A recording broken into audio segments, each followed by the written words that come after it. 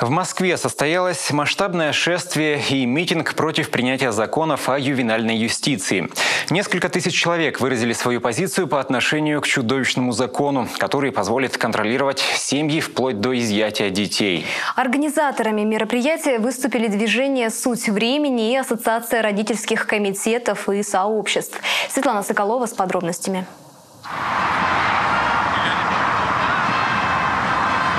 Флаги, транспаранты, лозунги. Шествие началось в 15 часов. Организаторы, члены общественных родительских комитетов и сообществ, семьи с детьми и все неравнодушные из разных регионов России прошли по центру столицы. От станции метро «Полянка» до Крымского моста по набережной Москвы-реки. Во главе колонны везли коробки со 135 тысячами подписей под письмом граждан России против принятия ювенальных законов. Цель митинга – не допустить принятия ювенальных законов, которые действительно страшны для наших семей. Они представляют реальную опасность, поскольку они предполагают контроль государства жесткий над семьей с возможным изъятием детей. Мероприятие продолжилось большим митингом. Уже этой осенью Государственная Дума рассмотрит пакет новых законопроектов, касающихся семьи. Их инициатор Организаторы предлагают ввести в России ювенальную систему в жестком ее варианте.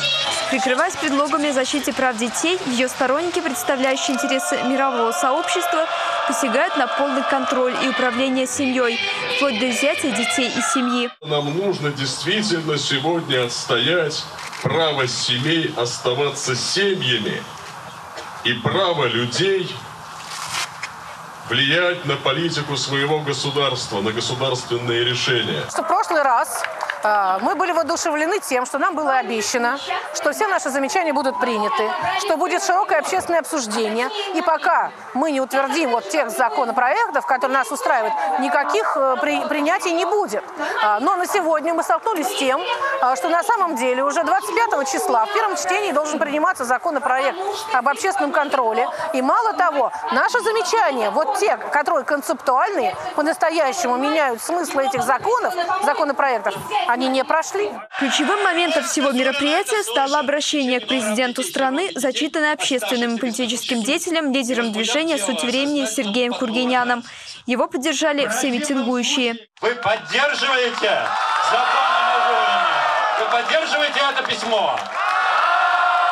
В обращении говорилось о губительных последствиях введения в нашей стране европейских механизмов защиты детства, об отрицательном европейском опыте и о непринятии новых законопроектов российской общественностью. 135 тысяч подписей граждан России и около 150 подписей видных деятелей науки и культуры это подтверждают. Нельзя, чтобы защита детей превратилась в организацию конфликта между детьми и их родителями, а также детьми и учителями. Это не спасет это раздавит ребенка. Ирина стала жертвой ювенальных законов Норвегии. Ее двоих сыновей забрали в интернат. В итоге, пройдя через горнило испытаний, старшего сына удалось вернуть. Младшего отдали отцу, гражданину Норвегии, которого Ирина обвиняет в развратных действиях в отношении ребенка. За расследование факта взялся Следственный комитет России. Все общение с маленьким сыном запрещено. Норвегия обычно дает два свидания э, два раза в год, э, но э, мне запретили.